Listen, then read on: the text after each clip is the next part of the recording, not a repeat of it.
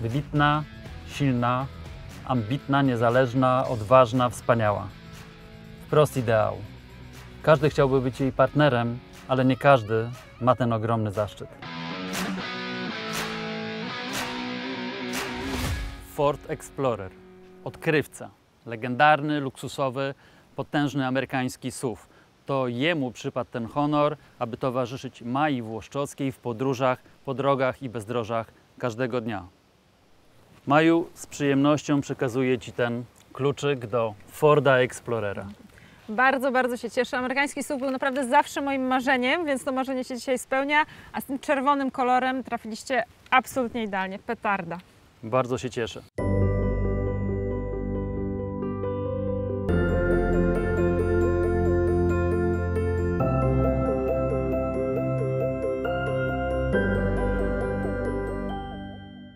Skończyłam właśnie swoją ponad 20-letnią karierę zawodowego sportowca.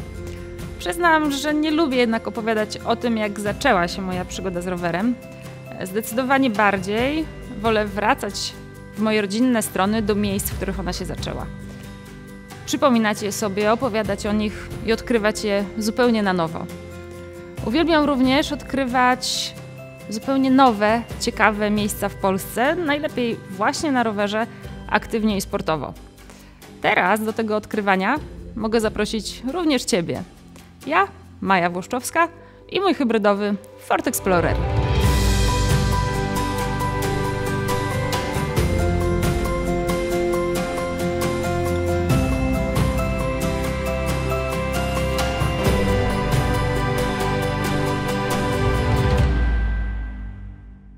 Może ja pójdę tam poprosić, żeby chwilę nie jeździli, co? Uważam, że uprawiam jedną z najpiękniejszych e, dyscyplin sportowych. Przede wszystkim dlatego, że rower pozwala dotrzeć w niesamowite miejsca. E, to nie tylko jest wysiłek fizyczny, to nie tylko jest frajda z jazdy w terenie, e, ale to też jest odkrywanie świata, odkrywanie Polski, odkrywanie przepięknych terenów. Cieszę się bardzo, że teraz mam możliwość, aby oderwać się od rutyny treningowej, oderwać się od tego, co pokazuje mój licznik, tętna watów i innych e, zaleceń treningowych e, i skupić się już tylko i wyłącznie na odkrywaniu tych przepięknych miejsc i podzieleniu się e, nimi z Wami. Jesteśmy w Jeleniej Górze, w której zaczęła się moja przygoda z rowerem górskim.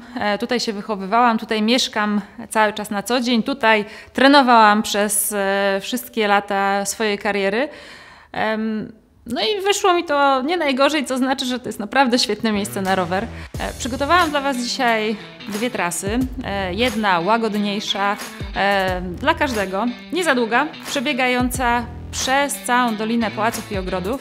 Drugie miejsce to już trasa e, bardziej ambitna dla e, kolarzy górskich, którzy już umieją jeździć na rowerze, ale to nie znaczy, że w te miejsca nie można e, dojechać, nie mając tych super umiejętności.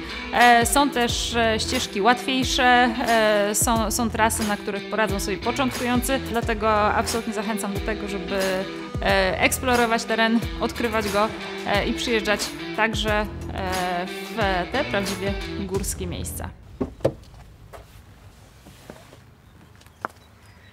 Witajcie, jesteśmy pod Pałacem Wojanów, e, stąd rozpoczniemy naszą dzisiejszą wyprawę rowerową.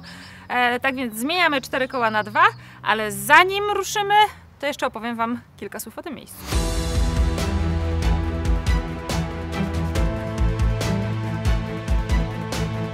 Pałac Wojanów to niegdyś e, romantyczna rezydencja dworska, wybudowany w połowie XVII wieku. Ciekawostka, zamieszkały nieprzerwanie przez ponad 400 lat. Pałac Wojanów jest dla mnie wyjątkowym miejscem, e, ponieważ kiedy w 2008 roku, e, w grudniu, okazało się, że straciliśmy sponsorów w wyniku kryzysu finansowego, ja pozostałam bez drużyny, no, nie była to najprzyjemniejsza e, sytuacja, mocno stresująca tuż przed Bożym Narodzeniem. E, wykonałam telefon do szanowanego mecenasa polskiego kolarstwa, pana Dariusza Miłka, e, z pytaniem o to, czy nie zechce objąć sponsoringiem mnie i mojej drużyny. On wówczas mówi: Wpadaj, jesteśmy z firmą w Wojanowie, więc tutaj właśnie przyjechałam na e, negocjacje, na zachęcanie go, aby zainwestował w kolarstwo górskie i tak przez kolejne 4 lata e, mogłam e, skupić się na e, sporcie i e, trenować i zdobywać e, kolejne sukcesy. Stąd zabieram Was na pętlę, która będzie miała niecałe 40 km. E, Czystej jazdy na rowerze będzie to około 2-2,5 godziny, ale że po drodze mamy wiele fantastycznych miejsc i przepiękne pałace, zarezerwujcie sobie na całą wycieczkę na pewno kilka godzin.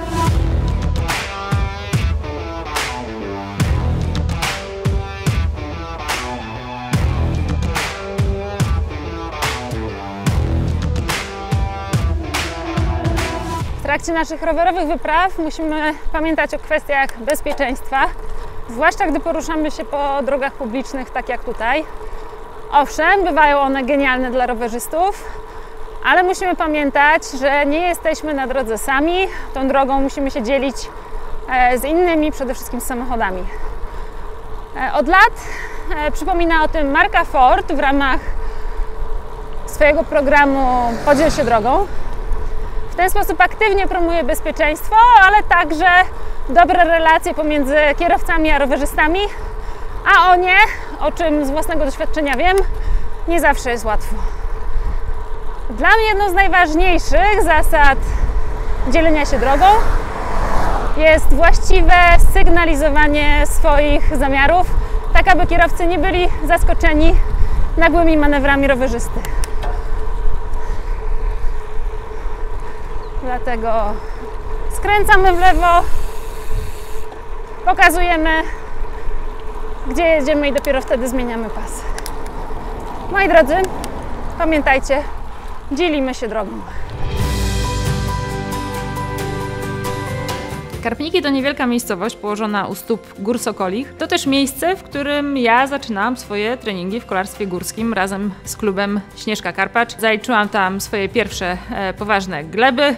Karpniki to bardzo częste miejsce na trasie moich treningów czy przejażdżek rowerowych, zarówno gdy jadę rowerem szosowym, gravelowym, czy jak jadę rowerem MTB, dlatego, że to jest po prostu przepiękne miejsce, uwielbiam tędy jeździć, jest mały ruch samochodowy, świetny pałac Karpniki, ale i bajeczny widok na Karkonosze.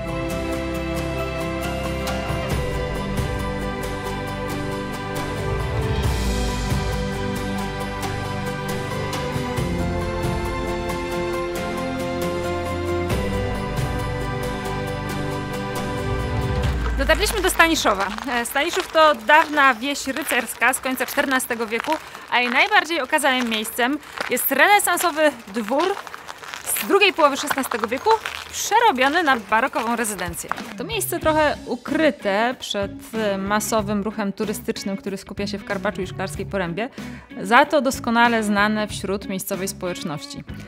Pałac Staniszów został odrestaurowany dopiero w 2001 roku.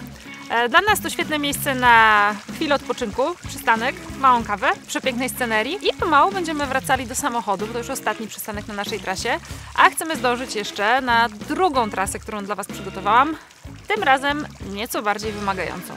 Jedziemy do Michałowic, gdzie rozpoczyna się druga przygotowana przeze mnie dzisiaj trasa. Trasa specjalnie pod rowery górskie. Będzie to mieszanka ścieżek, szlaków górskich, szutrów, ale i tak zwanych single tracków rowerowo olbrzymy, czyli tras przygotowanych specjalnie dla kolarzy górskich.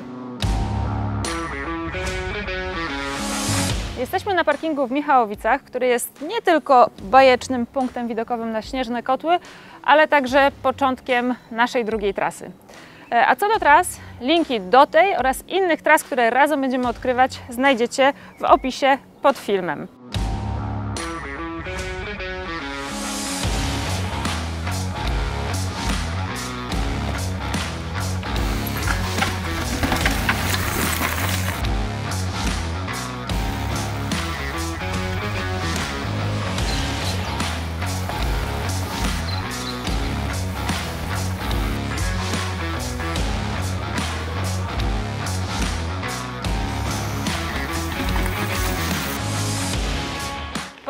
Zasada, gdy zaczynamy uczyć się jeździć na rowerze górskim, pamiętajmy, patrzymy zawsze do przodu. Nie na przeszkodę, która jest bezpośrednio pod naszym kołem, tylko na tor jazdy, który jest nieco dalej przed nami, więc wzrok do przodu. Gdy zaczyna się podjazd, redukujemy przełożenie dużo wcześniej, tak aby gdy zacznie się stromo, nie zaskoczył nas ciężki obrót twardy, bo po prostu na stromiźnie go nie przepchniemy, będziemy musieli zsiąść z roweru albo zerwiemy łańcuch, co będzie jeszcze gorszą konsekwencją.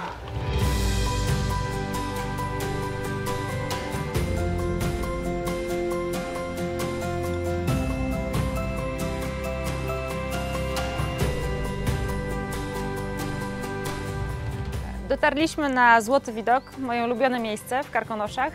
I w tym miejscu chciałabym się z Wami pożegnać. Bardzo dziękuję, że towarzyszyliście mi w odkrywaniu moich rodzinnych stron. Mam nadzieję, że zainspirowałam Was do tego, aby przyjechać i mnie tutaj odwiedzić. To dopiero początek naszych rowerowych przygód, e, więc zapraszam Was serdecznie, aby towarzyszyć mi w odkrywaniu innych ciekawych rowerowych miejsc w Polsce w kolejnych odcinkach.